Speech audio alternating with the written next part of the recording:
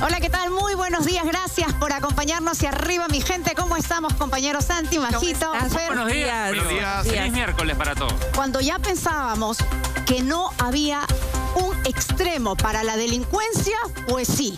Que no se pueden meter, meter con niños, pues sí. Que no se pueden meter en una escuela, pues resulta que sí. Y esto es lo que está pasando en Barranco, donde las profesoras y las madres de familia están completamente atemorizadas porque ha llegado la delincuencia y ha llegado con el gota a gota, con esos aplicativos que engañan, con esos aplicativos en el que uno los encuentra en cualquier momento cuando uno está en estas búsquedas para buscar financieras que te puedan sacar de un apuro. Ahí han llegado. Ahí han llegado y estamos hablando, compañeros, de un caso que ocurrió en un colegio que involucra a una profesora, a una madre de familia y a una docente que se convierte en la víctima de estos aplicativos y gracias a ella quizás y en la denuncia que hoy usted va a tener aquí en el programa va a poder conocer cómo operan estos aplicativos. Claro, ella dice, buenos días, ella dice que ingresó al aplicativo de este préstamo gota a gota para investigar, para indagar, a ver si solicitaba un préstamo. Sin embargo, nunca lo solicitó. Eso es lo que ella nos dice, ¿no? Pero igual la, la están extorsionando. ¿Cómo es la historia? Una persona accede a estos aplicativos, pero aparentemente no pide ese dinero, pero sí permite que el aplicativo tenga acceso a sus contactos. Ella se desmarca y dice, prefiero no pedirme ni hacerme de este dinero. Pero estas mafias acceden a los contactos, acceden a las madres de familia, acceden a otras profesoras y de pronto comienzan a llegar estos mensajes que atemorizan de si no me pagas, te mato. Si no me pagas, voy a ir por tus hijos. Y es por eso que ahora, a esta hora de la mañana, vamos a enlazarnos en breve con Firla Roldán, que está con las madres de familia y con otras docentes también, porque estaban en la lista de contactos de esta profesora seguramente, y que se ven pues atemorizadas de que empiece la extorsión por ahí. Ya, tienen dos conocidas que están siendo extorsionadas. Entonces, ¿cuál es el problema? ¿Cómo funcionan estos aplicativos? ¿Cómo funciona a tal punto que en cualquier momento, si yo estoy investigando dónde es que puedo pedir dinero y al final no accedo, ¿cómo es que estas mafias pueden dar con esos contactos y pueden amenazar a esos contactos? Atención, porque cualquier persona que en este momento puede estar navegando por la red podría ser víctima de estas mafias. Así se lo contamos.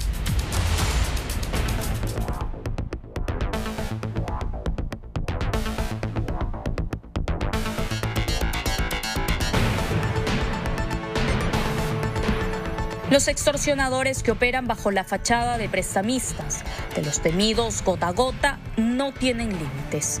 Una ex profesora de un colegio de educación especial vive atemorizada debido a los mensajes extorsivos que le llegan al celular luego de que una colega suya accediera presuntamente a un préstamo a través de un aplicativo de celular. Temo el que me pase algo a mí o a mi familia, ya que tengo pues, llamadas telefónicas, tengo mensajes que, están allí grabados en el teléfono, este, mandan mensajes, mensajes de texto. Y el temor pues es de que me hayan, me hayan involucrado en este tema la cual yo no, he tenido conocimiento para nada. ¿no? Nos comunicamos contigo porque esta persona dejó tus datos en nuestro sistema como contacto de emergencia. Se lee en uno de los mensajes. En otro, en cambio, la amenaza es directa. Si no lo paga, lo estarás pagando tú, ya que te dejó como referido. Con dinero colombiano no se juega. Por tu bien y la de tu familia, dile que pague. Financiera Credibus los ponga yo a derecho en el pago, que yo no tengo nada que ver con esos pagos, ya, y si no pago yo, ya están corriendo en peligro de vida mi familia y yo. Y, no es justo de que ella pues tenga un montón de problemas financieros y me haya incluido en este, en este tema no tan delicado. La docente nos hizo llegar estos audios donde le reclama a su colega por haberla supuestamente incluido como aval del préstamo, pero lejos de que esta comunicación la tranquilizara, se sintió sin respaldo y sola frente a los delincuentes extranjeros. Lee, por favor, te estoy reenviando, ¿sí? Cualquier cosita, si tu abogado no entiende, me llama para que mi abogado le entienda, le, explique mejor, ¿sí? Pero de verdad no me gustó el tono porque, o sea, ¿qué estás pensando? ¿Que, que yo te he metido en algo a ti? Desgraciadamente estás dentro de mis contactos. Está dentro de mis contactos. Y si eres una persona, porque eres profesional, ¿verdad? Entonces, para que tú avales a una persona, tienes que firmar. O vino el, Espíritu Santo y, y me iluminó, o no sé, o hizo magia. Entonces, para hablar, Patricia, creo que hay que ser coherente. ¿Sí? Y, me hablas de me hablas de abogado cuando yo, o sea, piensas que yo te he metido en algo, como te digo, yo te conozco pero no somos amigas. Yo tengo, sé defenderme y tengo personas, creo que has leído la denuncia de la fiscalía, y yo tengo familia que son fiscales, magistrados, oficiales, coroneles generales, ya están en esto. O sea, tampoco no me subestimes. Sí, tengo gente que me está ayudando. Por eso es que ya yo ya procedió la denuncia, ¿no? Ahora, este, ¿qué más puedo hacer? Desgraciadamente, es, bueno, eh, me tocó esto a mí, ¿no? Pero no soy la única, porque en las noticias a nivel nacional salen todos los días de esas porque y de, fatalmente me tocó a mí. ¿Ella en algún momento le ha pedido disculpas por haberla metido en esta situación?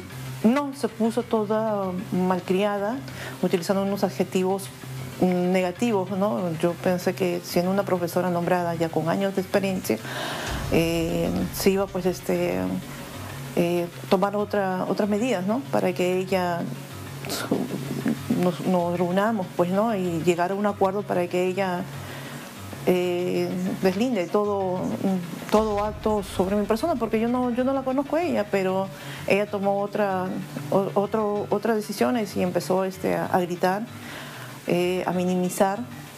Y es más, yo pues no estoy acostumbrada a escuchar a, profesionales, entre comillas, hablar así, ¿no? Referirse de otras personas negativamente. Quienes también sienten temor son las madres de familia de este SEBE ubicado en Barranco, pues afirman que motorizados con acento colombiano se acercan a la puerta a preguntar por las profesoras y que merodean constantemente la institución educativa. Siempre hay gente en moto. Justamente ayer tomé una foto de un motorizado y ya uno no está seguro con nada uno no está seguro con nada. de, pasarle algo, Dios no quiera, alguno de estos chicos, de estas niñas, algún padre de familia, alguna profesora, ¿quiénes van a ser los directamente responsables? La directora, la profesora, los, de, los directivos de la UGEL, el Ministerio de Educación, porque ya pasó mucho tiempo, no tenemos respuesta y el hecho de que sean niños con discapacidad no significa que no tengan derecho a la seguridad y que se les proteja. Este hecho ha sido puesto en conocimiento a la directora del colegio y ante la UGEL número 7 a través de cartas donde se pide la inmediata intervención de la autoridad. Pero según afirma esta madre, hasta el momento no hay ninguna respuesta. Ella la directora prácticamente no hace nada. Es la palabra que digo yo que no hace nada, porque ella es la máxima autoridad, debería tomar eh, cartas sobre el asunto, debería deponer a esa profesora este, al descubierto ante todos los padres de familia, ante las madres de familia, ante la UGEL o tomar medidas este, preventivas. Nos comunicamos con la profesora Milagros de Jesús Mejía Romero, quien habría solicitado el préstamo, que terminó perjudicando a al menos dos profesoras con mensajes extorsivos y a decenas de madres y padres de familia que temen por la seguridad de sus hijos. Sin embargo, la docente no nos autorizó a emitir la entrevista. Lo que sí nos envió fue la denuncia que interpuso ante la Fiscalía, donde indica también haber sido víctima de amenazas de muerte. Además, señala que el desembolso del préstamo nunca se efectuó. Tanto la docente como esta madre de familia entrevistadas para este informe han preferido proteger su identidad por temor. Ambas coinciden en que son los alumnos los que quedan expuestos y a merced de delincuentes y extorsionadores, quienes no tendrían ningún reparo en usar la violencia para cobrar la supuesta deuda urge que autoridades velen por la seguridad de los más vulnerables.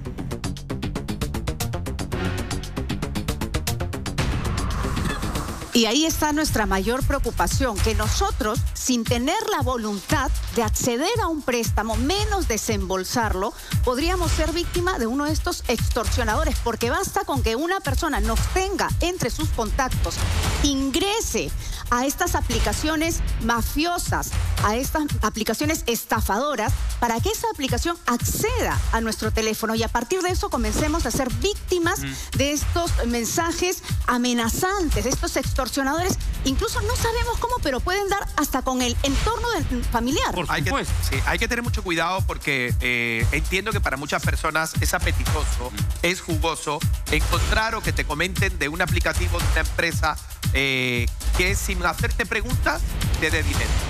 Y no existe, es decir, no hay, no hay nada, no hay nada gratuito.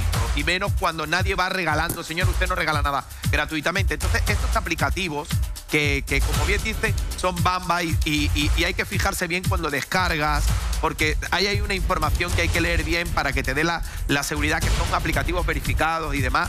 Lo que quieren es que tú des clic para con ello abrir una puerta en la que ellos Eso. entran y ya caíste en sus redes. Claro. Sí. Al descargar el aplicativo, cuando usted ha descargado un aplicativo, ha descarga- ha descargado un WhatsApp, ha descargado un Twitter, ha descargado un Instagram y se ha instalado en su teléfono, le está permitiendo ese aplicativo acceder a todo su sistema operativo, ¿verdad? Lo mismo funciona aquí. Son aplicativos del gota a gota. ¿Cómo funcionan? ¿Cuáles son los aplicativos que usted no debería ni mirar prácticamente por asomo? Ya la SBS ha dado una lista, son cerca de 33 los aplicativos que están en la lista negra porque están considerados como pues eh, fachadas de las mafias de la extorsión. Sí, y se dice que estos aplicativos de gota a gota, estos aplicativos maliciosos, eh, un dato curioso es que no se descargan en, en Apple Store, sino en Google Play, estos Ajá. aplicativos. Y como tú dices, Karina, nos podemos preguntar, pero si es que no, eh, si es que la señora no pidió el préstamo, ¿cómo así le están amenazando, extorsionando? Y es que cuando ellos ingresan, tienen que hacer un registro, llenan todos sus datos, ¿no? Para el préstamo. Entonces ahí ya llenando los datos, todo eso se va jalando. Y- si es que pides el préstamo, luego hay unas condiciones, ¿no? Unas condiciones que al final, ¿no? unos términos y condiciones que al final te das cuenta que son tan elevados, pero ya pediste Así el es. préstamo. ¿Y cómo actúan estas mafias? Si tú pediste un préstamo, Majito, y yo estoy dentro de tus contactos y por ABZ tú no los pagaste, tú no pagaste ese préstamo, van hacia mí. Y si lo tienes a Fernando, van hacia Fernando. Y después van hacia Santi y hacia cualquier aprovechan de- se persona aprovechan también del que tengo. todo Así es, en tus contactos. ¿Usted se ha dado cuenta? Esta pregunta tan inocente cuando usted descarga cualquier aplicativo de permitir acceso a sus fotos y luego permitir acceso a sus contactos, a veces uno le da así sin saber qué significa eso. Tenemos acá la lista que ya ha sido publicada por las autoridades. Aplicativos a los que usted no debería acceder ni siquiera intentar averiguar qué es lo que están ofreciendo. Estos son los aplicativos que están a cargo de las mafias. Se los vamos a leer uno a uno. Credibus, Rapipago, Oro Viene, Oro va. Y Ahí Bay, Más Sol, Pay Válida y Cori, Ekeko. Ekeko que además es un aplicativo que parecía serio, ¿ah? Menta, Lana Hoy, Presta Soles, Supercrédito, Coco Crédito, Viva Crédito, Mágica Caja, Perú Crédito, Billete Plus, Moneda Com, Mi Riqueza, Papi Soles, Pop Cash, Mi Sol y Crédito, Meti y Plata o E Plata y Finance, que Cartera, Cashio y Eke Cash. No Ah. sabemos bien si todavía están en, en las tiendas, ¿verdad? De, de- de los aplicativos, en el caso de Google Play, o si ya desaparecieron, pero cualquiera al que usted identifique, por favor, ni siquiera se atreva a darle clic. La historia que hoy les contamos habla de esta mujer de Milagros Mejía Romero, ¿no? Que ha sido denunciada por otras dos mujeres que están aterradas y por eso es que no han eh, decidido mostrar su rostro en el reportaje que ha hecho Romina Caballero y que hablan de este aplicativo, que ella usó el aplicativo Credibus, que está en la lista que les acabamos de mostrar. Bueno, Fiorella Roldán se encuentra precisamente en el lugar de la noticia con las madres de familias que están atemorizadas porque, entre otras cosas, ellas están contando que están rondando los eh, exteriores de este colegio. No sabemos con qué intención. Nos vamos a Barranco contigo, Fiorella. Buenos días, compañeros. Así es, estamos en el CB Laura Alba Saldaña porque los padres de familia están aterrorizados con la situación que se vive en este colegio. Temen por la integridad de sus hijos, por la integridad de ellos mismos que vienen a traer a sus hijos, a recogerlos. Y justamente el día de hoy se han armado de valor, se han reunido para poder reclamar a las autoridades del colegio que por fin hagan algo, pongan mano dura en este asunto para poder solucionarlo de alguna manera o por lo menos buscar una posible solución, porque hasta ahora al parecer no lo hacen. Señora Magnolia, cuéntenos qué procedimientos como padre de familia ustedes han realizado para buscar la tranquilidad de sus hijos. Ya, buenos días ante todo. Bueno, yo como comité de aula eh, he pedido una reunión eh, con todos mis padres papitos de, de mi salón. Lamentablemente esta profesora ha sido profesora de mi niño y de ahí abarca todo el problema de, lo que estamos ahorita viviendo, una inseguridad, eh, no solamente nuestros hijos, nosotros también nos dejan acá, a raíz de esas denuncias que ha tenido la profesora, la directora, nos ha dejado acá, afuera, ¿no? No nos dejan ingresar. Entonces, acá como prueba tengo yo que he presentado una solicitud justamente para sacar la copia, ¿no? De la reunión que he tenido con la directora pidiendo que por favor sea retirada del aula del, de mi hijo, ¿no? Y a raíz que ya nos hemos enterado que lamentablemente están viniendo personas ajenas, ¿no? A preguntar y a extorsionar a una profesora, he pedido una reunión al presidente de APAFA para informar cuál es la respuesta? de familia lo que estamos viviendo, ¿no? ¿Y, cuál es la respuesta? todos los padres estamos expuestos, como ustedes ven, estamos acá los papitos esperando, ¿no? Esperando eh, que nuestros hijos, ¿no? Eh, nos llamen para las terapias. Esto ha suscitado porque yo creo que la directora está tomando represalias contra nosotros por, por estas denuncias. Y no me parece justo. Nosotros los padres de familia estamos pidiendo solamente la seguridad de nuestros hijos. Claro, Lo Fiorella. que nos preocupa ahorita es la seguridad de nuestros hijos. Nosotros como padres de familia vemos esa necesidad. La directora, ustedes como padres ante sus reclamos. Claro. Ahora, la, la, directora hasta ahorita no nos ha dado cara. Ha dado un, un, un, este, un reglamento diciendo de que a partir de las 8 de la mañana ya ningún niño podrá ingresar a aula. Se quedará en la entrada con su padre.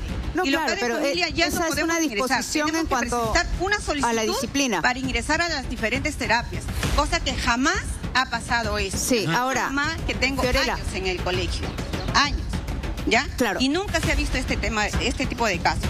Claro, Fiorella, hay que eh, enfatizar también que este es un centro eh, educativo para la atención de demandas educativas de la población con discapacidad, ¿verdad? Eh, y, y eso hace, por supuesto, a la población escolar mucho más vulnerable y a ustedes también como padres de familia, porque tienen que estar pendientes además de las terapias. ¿Tienen miedo ustedes en este momento? Por supuesto, señorita, estamos con miedo. Claro que sí, estamos con miedo porque nos puede pasar a nosotros también. En cualquier momento pueden venir ese tipo de gente. Sí, sí, claro, estamos con miedo. ¿Están merodeando el colegio? de Nosotros, muchos, muchos de nuestros padres de familia acá no están trabajando por dedicarse a sus hijos. Así es.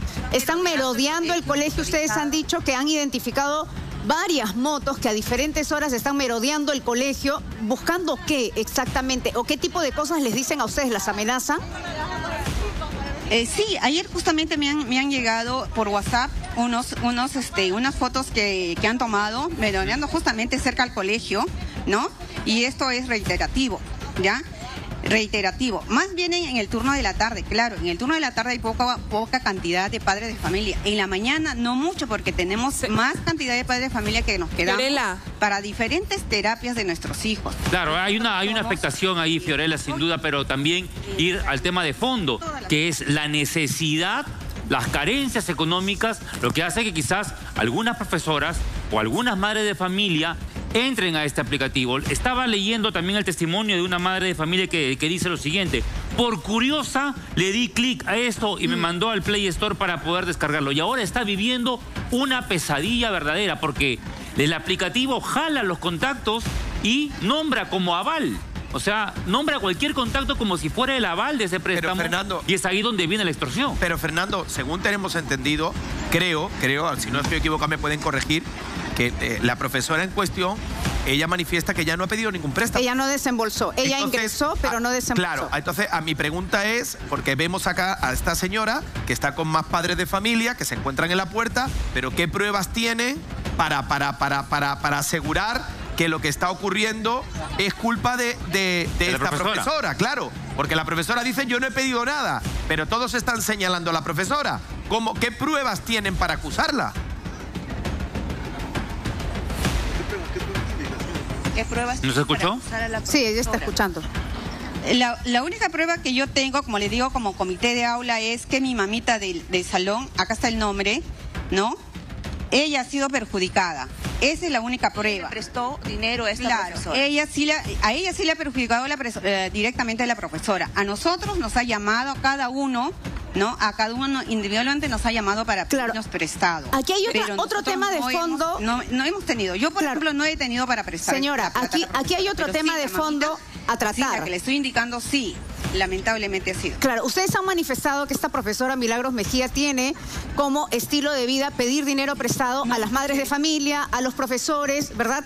A, a casi todo el personal del colegio. Es, es su manera de vivir, es decir, ella siempre está haciéndose de préstamos. prestado. Siempre está pidiendo dinero prestado. Es lo que ustedes han manifestado eh, o lo que ha manifestado una de las madres de familia en el reportaje de Romina Caballero. ¿De qué estamos hablando, señores? Por si ustedes recién se conectan a la señal de Latina, arriba mi gente. Primero, por supuesto, buenos días y bienvenidos. Milagros Mejía es una profesora de este colegio en Barranco que intentando eh, conseguir algo de dinero ingresa a uno de estos aplicativos que ya las autoridades han dicho que son aplicativos de estafadores.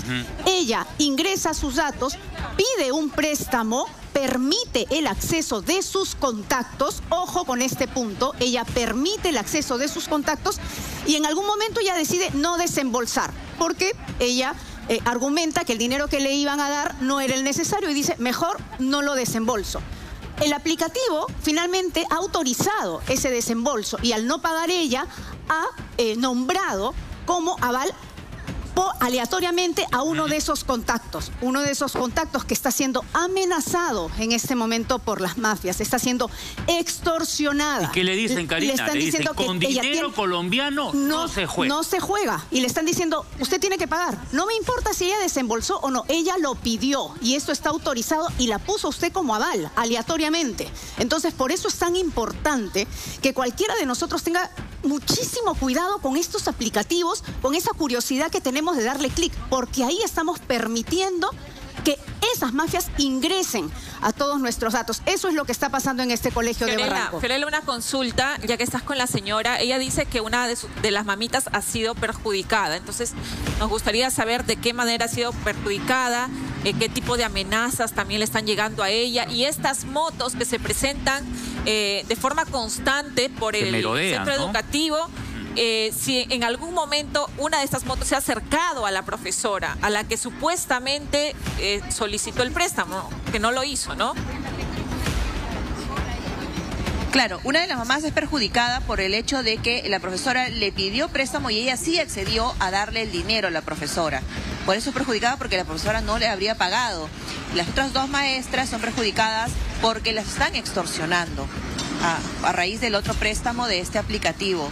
Pero Entonces, Y- eh, bueno, ustedes han visto también que están rondando por acá, ¿verdad? Claro, eso, eso es lo que aseguro, como le digo, nosotros somos de turno de la mañana, no hemos visto, pero sí en el turno de la tarde me han mandado fotos que sí están este, reiteradamente, mm, eh, los días están viniendo acá a estacionarse, a vigilar. Tarde a los otros papitos, señor, ¿usted ha visto alguna moto por aquí rondando? ¿Ha escuchado? ¿Le han comentado a otros padres de familia? Eh, sí me han comentado, no he visto, lamentablemente no he visto, pero lo único yo, que yo pido es seguridad, porque usted sabe, esos señores de los préstamos de gota a gota no miden, no tienen compasión por nadie. Ya, y las consecuencias son para los que estamos alrededor de las personas que se han hecho ese préstamo. Eso es lo que pido, solicitud, seguridad para los- nuestros niños y para nosotros también, señor. Claro, pero ya se hizo esta solicitud de manera formal. están esperando aquí. ¿Qué Pero, Karina. acá en la puerta esperando? Estos Seguros. extorsionadores le han dicho alguna el de las que las que han no pueda puesto pasar. como garantía. No solamente con la gente En las- que las están avisando, en pero los audios, sorprende eh, hay una sí, amenaza, de la ¿no? señora Magnolia, porque realmente nosotros no desconocíamos todo lo que estaba pasando, pero como dicen, ¿no? Primero son nuestros hijos. Y aparte que en el colegio no se le puede de- decir nada porque enseñan muy bien, hay buenas terapistas, pero lo más es la seguridad. Si nosotros no estamos seguros aquí en la calle, imagínate, no hay serenazgo, no pasa el serenazgo, no pasa. Si no, fuera por acá, ¿Y han podido apuntar la placa de estas el serenazgo motos? solamente pasa acá de Chorrillos, de Barranco no pasa para nada. apuntar la placa de estas motos? No, no, no, para nada. Nada, no han grabado, Una no- madre no familia me comentó que había, al día de ayer bajaron dos de una moto y entraron y no sabían a dónde entraban. Están diciendo los padres de familia, tienen miedo incluso en este momento de estar parados aquí. Ajá. ¿Cómo detona esta Imagínense historia? de ellos. Claro, ¿cómo detona esta historia? Recibimos acá en el WhatsApp de Arriba Mi Gente, el 970-680-111, las denuncias aterradas de dos mujeres que dicen haber sido pues víctimas de la extorsión. Empiezan a recibir mensajes amenazantes, etcétera, y cuentan a nuestra reportera Romina Caballero, en esta unidad de investigación, que pues hay una profesora, la profesora eh, Milagros Milagros Mejía. Mejía Romero, que habría activado este aplicativo, descargado el aplicativo Credibus en su teléfono. Ojo, si usted lo conoce, tenga mucho cuidado. Y entonces ella desiste de pedir el préstamo, pero el aplicativo jala los contactos. Entre estos contactos posiblemente estaban estas dos mujeres que han hecho la denuncia, pero que por temor prefieren no ser identificadas. A raíz de esta denuncia, la señora Milagros Mejía Romero nos ha mandado una carta explicando obviamente qué ha pasado aquí parte de lo que ya hemos hablado lo explica en la carta. Está muy indignada, está muy fastidiada, es comprensible, la entendemos, señora Milagros Mejía. Sin embargo, la denuncia de, las, de la mamá y de la maestra son válidas también, ¿no? Entonces, ¿qué dice la señora eh, Mejía en su carta, Majo? Al respecto, es falso que mi persona haya consignado como aval para un préstamo a las referidas personas, sea ante alguna entidad financiera formal o para un préstamo de los llamados gota a gota. Lo cierto del caso es que en el mes de junio, por motivos de salud, me vi obligada a solicitar un préstamo del llamado gota a gota, el cual nunca solicité porque me daba un poco Me daba muy poco. Me daba muy poco y tenía que pagar de más. Sin embargo, y como es de público conocimiento, luego de solicitar un préstamo gota a gota, esa gente de alguna manera accedió a mis contactos familiares, laborales y entre otros. Lamentablemente tuve inconvenientes con la aplicación indicando que había incumplido con el pago que efectivamente nunca solicité, por lo que los prestamistas empezaron a realizar llamadas amenazantes contra mi persona y contra todos mis contactos con la finalidad de hostigarlos y conminarlos a asumir una deuda que no habían efectuado y diciendo a todos mis contactos que yo los había puesto como avales Imagínate. para el préstamo. Claro, capaz Ese no, había, capaz no había la voluntad, en efecto, de que Milagros Mejía pudiera exponer alguno de sus contactos. Pero lo cierto es que basta con que uno esté indagando dentro de estos aplicativos, de que uno le dé clic, de que diga permito el acceso a mis contactos, permito el acceso a mis fotografías, permito el acceso a mi ubicación para que estas mafias ingresen y saquen toda la información que tienes dentro de ese celular. Así que muchísimo cuidado con ello porque saben que esto le puede pasar a cualquiera de nosotros, cualquiera de nosotros que esté dentro de los contactos de otra persona que esté indagando y que esté navegando por estos aplicativos. Así que la advertencia está ahí y ojalá, por supuesto, que las autoridades también vayan a la investigación en este colegio porque esos padres de familia están aterrados. Aterrados. Bueno,